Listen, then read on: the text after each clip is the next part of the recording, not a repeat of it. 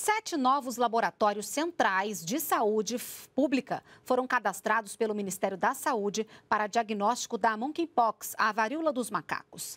A partir de agora, Bahia, Goiás, Santa Catarina, Ceará, Pernambuco, Paraná e Espírito Santo vão ter também capacidade para fazer a análise das amostras. Agora são ao todo 15 laboratórios cadastrados. Segundo o último levantamento, foram identificados 7.115 casos em todo o país.